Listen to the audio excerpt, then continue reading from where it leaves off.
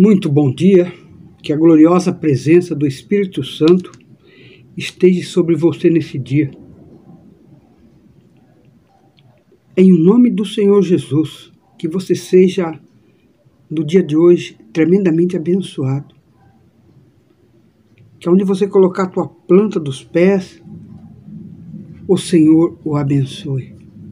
Aonde você colocar suas mãos, o Senhor o abençoe aonde os seus filhos chegarem, eles sejam abençoados, que eles sejam plantas de oliveira ao redor da sua mesa.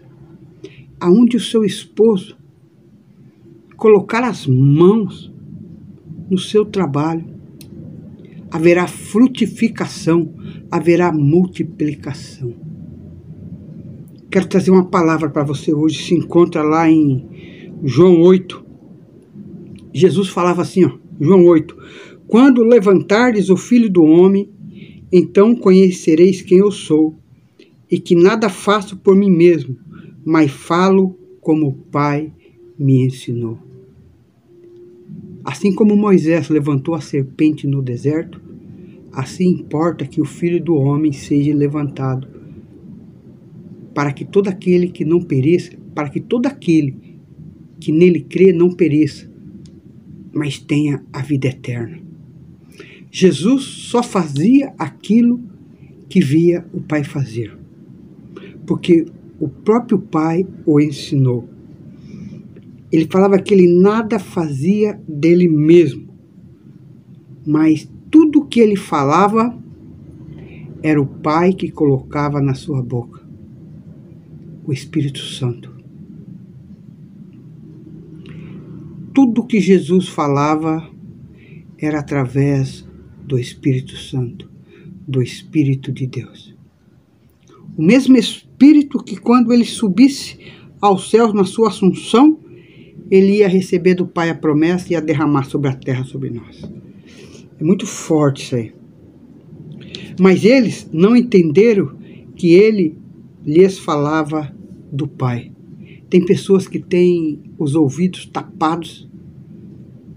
A vibra surda tapa os ouvidos para que eles não ouçam o Evangelho. Você sabia disso? Disse-lhe, pois, Jesus: Novamente eu vou falar. Quando levantardes o Filho do Homem, então conhecereis quem sou, e que nada faço por mim mesmo, mas falo como o Pai me ensinou. Aquele que me enviou está comigo. O Pai não me tem deixado só, porque faço sempre o que lhe agrada. Eu quero falar para você. O Espírito Santo está com você. Ele sempre está com você. Porque Jesus recebeu a promessa do Pai e ele falou: é necessário que eu vá, porque se eu não for, o consolador não poderá vir.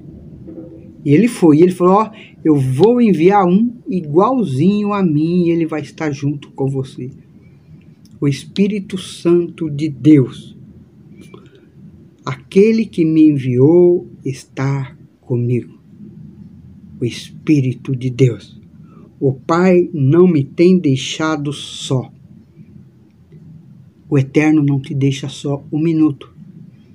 O Espírito Santo é ao teu lado te guiando, te dirigindo, dando discernimento em tudo para você fazer as suas obras aqui na terra e levar a sua palavra, para que você possa abençoar os seus filhos, porque quando você abre a sua boca, você abençoa seus filhos. O pai e a mãe nunca pode abrir a boca para falar algo contrário à palavra de Deus porque a palavra da mãe, a palavra do pai tem poder no céu. Então, no nome do Senhor Jesus, estou te pedindo hoje, abençoe, sempre que puder abençoar os seus filhos, os abençoe. Fale, eles vão ser prósperos, eles vão ser médicos, eles vão ser advogados, eles vão ser professores. Deus vai guiá-los no melhor caminho. Fale com a tua boca, profetiza com a tua boca o melhor para os seus filhos, o melhor para a sua família. Tira toda palavra vã da sua boca, todo palavrão.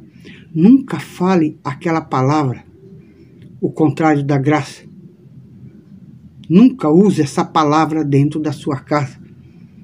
No nome do Senhor Jesus, nunca use a palavra contrário à graça. Você sabe qual palavra? Eu mesmo não gosto de proferir esta palavra. A graça de Deus é sob graça, misericórdia sobre misericórdia. Por essa é a causa de nós não sermos consumidos. Falando ele estas coisas, muitos creram nele. Jesus tinha que pregar, pregar, pregar para as pessoas crerem, acreditar nele. As pessoas eram duras de coração. Elas não abriam. E Jesus tinha que mostrar para eles que ele era o Filho de Deus. E muitos não aceitaram. Jesus falou aqui, ó.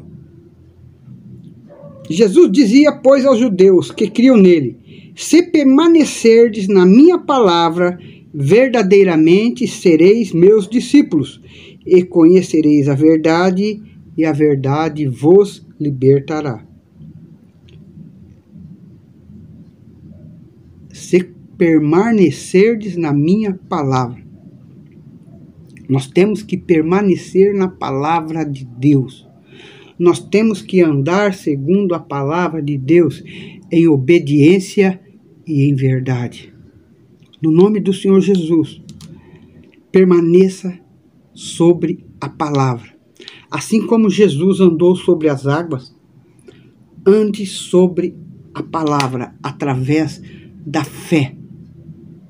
É através da fé e a fé vem pelo ouvir e pelo falar. Aumenta-nos a nossa fé, Senhor, pediu os discípulos.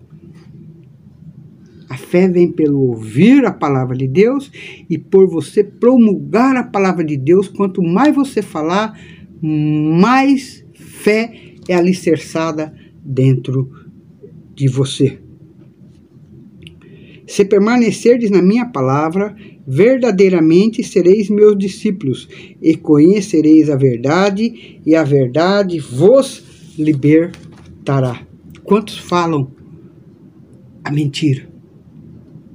Tem pessoas que 90% do que fala é mentira. E elas falam com uma verdade tão grande que enganam as pessoas.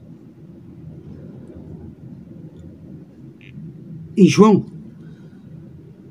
17, versículo 14, Jesus falou assim: Pai, eu dei-lhes a tua palavra e o mundo os odiou, porque eles não são do mundo, como eu do mundo não sou. Se você está ouvindo essa palavra, você é uma pessoa espiritual, você não é deste mundo aqui. O Espírito Santo é que te guia, te, te guarda, te dirige em todos os seus caminhos. Os olhos do Senhor é sobre você, e é sobre os bons e os maus. Ele quer que todos se arrependam e se convertam e venham para a sua presença. Mas ele sabe aquele que não vai aceitar a palavra. Não rogo que os tire do mundo, mas que os livre do mal. Jesus sabe como que é este mundo aqui. Jesus sabe o fogo que está tendo no Pantanal. Jesus sabe milhares e milhares e milhões de animais que estão morrendo lá. Por culpa de quem? De homens que tocaram fogo para limpar a área, para plantarem e germinarem alimento para o gado. Porque querem expandir e esquecem dos animais que Deus criou. Mas Deus dá a justa justiça a cada um. Não se esqueça isso. Não estou falando que Deus vai matar, não, não, não, não, não, não, não, não. Jesus é misericordioso. Jesus veio para salvar as almas dos homens. Jesus quer que a pessoa, vamos aqui, se arrependa e se converta e abandone os seus caminhos. Eles não são do mundo, como do mundo eu não sou. Jesus fala novamente: santifica-os na tua verdade, a tua palavra é a verdade. Santificar, separar, o Espírito Santo te apresentar todos os dias diante do Santo do Santo, falar: Senhor, olha ali o meu amado, a minha amada se separando para ti, Senhor. Olha com olhos de misericórdia. Manifesta a tua graça, o teu amor, Senhor. Santifica-os na verdade. Deus é a verdade. Não tem isso aqui, ó, de mentira. Uma verdade vale mais de que 100 milhões de mentira, porque a mentira uma hora vem à tona. A tua palavra é a verdade. É isso aqui, ó. E muitos não creem. Tem pessoas que estavam na presença de Deus e hoje são ateus. Nunca tiveram um encontro com Cristo. Pregaram até a palavra, mas verdadeiramente nunca tiveram na presença de Deus. Eu quero falar algo para você. Nunca se esqueça isso. Se Deus fizer algo para nós, Ele é Deus. Se Ele não fizer, Ele continua sendo Deus. A misericórdia dele é a causa de nós não sermos consumidos. Eu não sou merecedor de nada. A graça de Cristo me basta na minha vida e na sua vida. Nunca esqueça isso. Por mais que esteja difícil, esses dias são difíceis, turbulentos, Agradeça a Deus. Em tudo dai graça. Se não me engano, é 1 Coríntios capítulo 10, versículo 31, ou 2 Coríntios. Em tudo dai graça. Tá ruim? Dai graças a Deus. Senhor, obrigado, Pai, porque eu sei que o Senhor vai me ajudar a passar por essa tempestade. Eu já passei por desertos piores. Não vou passar por esse aqui, não vou e o Senhor vai me sustentar, o Senhor vai me fortalecer. Eu vou ser como uma árvore arraigada, plantada, e as minhas raízes são profundas, que não se abalam. Não é como uma casa construída na areia, não, é solidificada na rocha, e a rocha é Cristo Jesus. Esta é a palavra que eu queria deixar para você nesta manhã. Que Jesus ilumine os seus caminhos, que Jesus abençoe a sua família. Eu mesmo não tenho nada para dar para você, mas o que eu tenho eu te dou.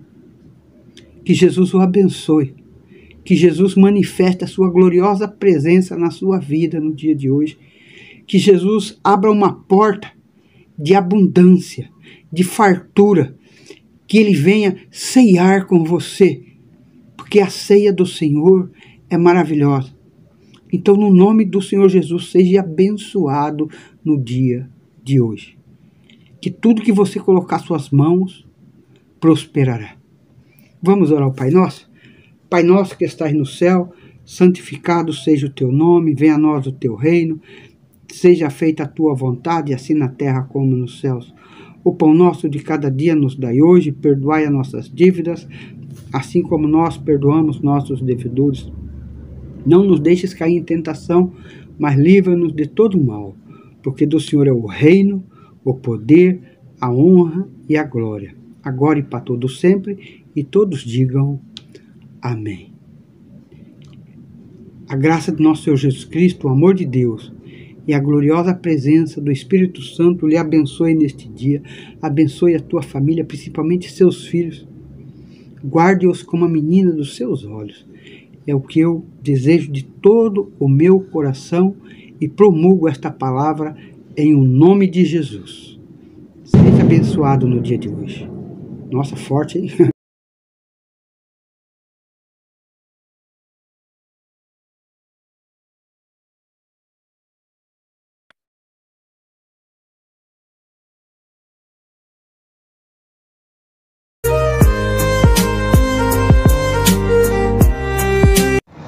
Se você gostou do nosso vídeo, inscreva-se no nosso canal, dê um like e compartilhe com os amigos.